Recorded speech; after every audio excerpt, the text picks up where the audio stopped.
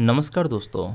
मनोपुरम के शेयर में आज के ट्रेडिंग सेशन में 7.89 परसेंट के क्लियर आपको गिरावट देखने को मिल रहा है। तो उसी के साथ नोटिस करेंगे आज की ट्रेडिंग सेशन में एक रेड कैंडल है।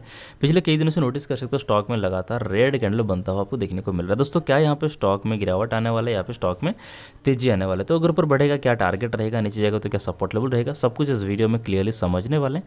तो इस वीडियो को कंप्लीटली ज़रूर देखिए। दोस्तों नोटिस कर सकते हो मनोपुरम शेयर स्टॉक आपको एक्जैक्टली मनोपुरम फाइनेंस आपको यहाँ पे स्टॉक एक्जैक्टली हायर है कंडीशन बना के ऊपर बढ़ता हुआ देखने को मिल रहा है। तो ऊपर बढ़ते बढ़ते देखेंगे स्टॉक में एक रेजिस्टेंस लेवल यहाँ पर था जिसको इसने ब्रेकआउट किया। लेकिन एक एक चीज़ आपको यहाँ पे ध्यान रखने की आवश्यकता है जो हमारे कंटिन्यू व्यूअर्स है, उनको पता है मैं हमेशा यही चीज़ आपको सिखाता हूँ और मैं आपको, यही चीज़ आपको बहुत अच्छे से क्लियरली सिखाता हूँ ताकि आपको ये बहुत अच्छे समझ में आ जाए कि मैं आपको क्या समझाना चाहता हूँ और आपको कोई भी चार्ट को देखते ही आपको समझ में आ जाए।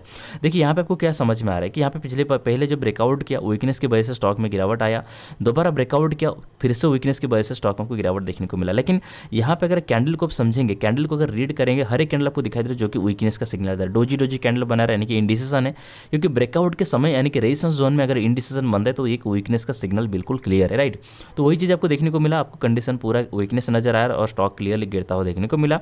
और अपने जो सपोर्ट लेवल चल रहा था वन इसके नीचे भी स्टॉक आ गया राइट जब इसके नीचे क्लोजिंग दे तो भारी गिरावट, भयंकर गिरावट आपको देखने को मिला है पिछले कई दिनों के अंदर अंदर।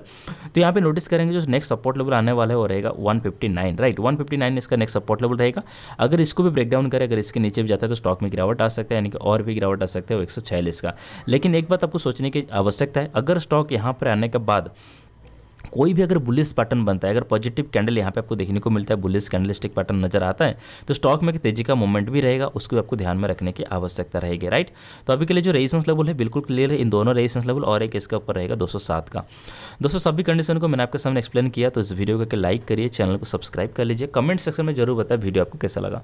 स्टॉक में बाय सेल होल्ड करने की कोई भी सलाह, सुझाव नहीं है। वीडियो एजुकेशन पर्पज जब बनाया गया तो बहुत बहुत धन्यवाद।